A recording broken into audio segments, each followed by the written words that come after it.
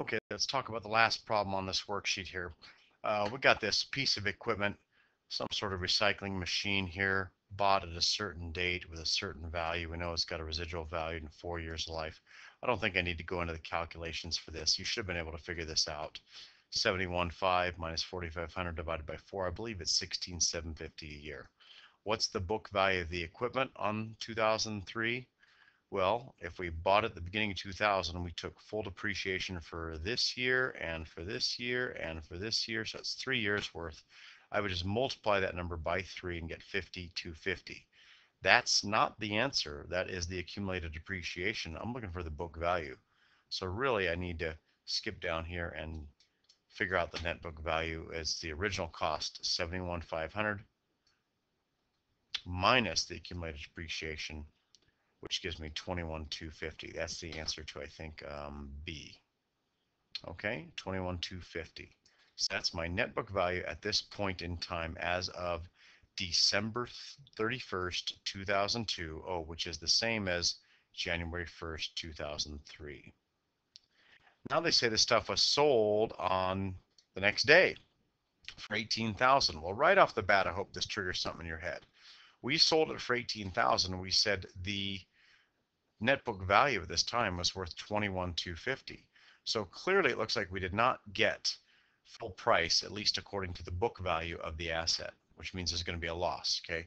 Now, I want to be very careful about number C here, or letter C, because building this journal entry is probably one of the harder things in this class. I want you to make sure you do it carefully and deliberately, because even if you don't get it right, or if you struggle with it, you can reason it out, I think, with a little bit of uh, tips here. Okay. First thing is I write down what I know. I know I got cash to the tune of $18,000, so debit cash for 18,000. I know I got rid of uh, a piece of equipment and its associated accumulated depreciation, which I already know. So when I get rid of equipment, remember it stays on the books as its original purchase price, which is 71.5. So I get rid of the machine. So I credit machine for 71.5. It comes off the books. As soon as it comes off our books, well, so does the accumulated depreciation, right? This is an asset account that goes up with a debit. When I write it down completely to zero with a credit, it's off the books. But when that goes off, this has to come off too. Accumulated depreciation is a contra asset account, goes up with a credit so that I'm writing it down to zero with this debit right here. Okay, so these two go together. The only reason it's interrupted by this other line in the middle is because I have to have all my debits first, then my first credit. And actually, there's no other credits. Okay. So this one here, let's let's assume that this didn't exist. Suppose you didn't know the answer already. Okay. If I look at this journal entry, okay, if I look at this journal entry here, I know that I am going to need another debit or a credit. They don't balance. Well, 18,000 plus 50,250 looks to me like it's worth 68,250. Oh, that's 3,000 250 short if my math is right. And so if the debits are less than the credit or sum of all the credits, were there more than one credit, then I would need to add enough dollars here to make sure debits equal credits. There are no exceptions to that in any accounting class. So I've got to understand what the answer to that is. Okay.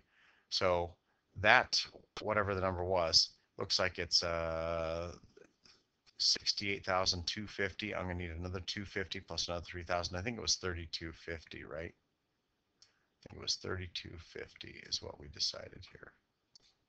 Okay, and what type of account is that? Well, it's actually an owner's equity account called loss on disposal of assets. That's what the DOA stands for, okay? Good phrase for this type of situation, but loss on disposal of assets means this was a paper loss that we took okay, this thing was supposedly worth 21,250 on our books, but we only got 18,000. Oh, by the way, what's 21,250 minus 18,000? Oh, it's 3250. Exactly the amount of my loss. Debits must equal credits. There you go. There's four different accounts, and I think you can see pretty easily that in this part D, which I won't do, they sold it for a slight gain. And so what happens here is this is the same, book value is the same. This is a different and totally independent situation. instead of 18, they had a different buyer for 23. Well, clearly that's going to be a gain of 23,000 minus 21,250. Looks like 2,000. No, it looks like $1,750 is the amount of the gain. And so what happens is this owner's equity account, which was a debit in part C, would shift over to be a credit in problem D. It would shift over and be called gain on disposal of assets. So I don't need to write that up, but that's how that works. Okay, I hope that helps you with that problem there.